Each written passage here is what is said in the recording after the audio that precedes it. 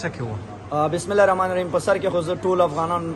ټول افغانان مننه کوم چې موږ همیشه دعاګانو کې یاد ساتلی او دعاګانې کې تاسو نه مننه چې موږ تراغلی او موږ هم تشویق کولو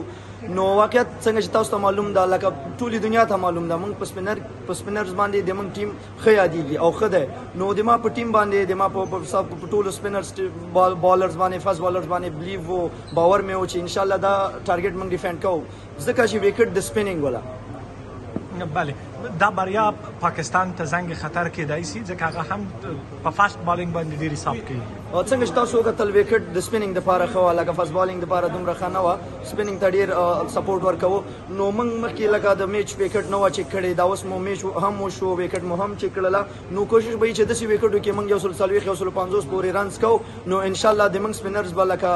ډیفینډ کوي یو سل څلوېښت پنځوس رنز که هر ټیم وي نو د موږ سپینر ښه دي د نورو سپینرز مطابق یا د نورو ټیمو مطابق کور آباد مننه تاسو هم مننه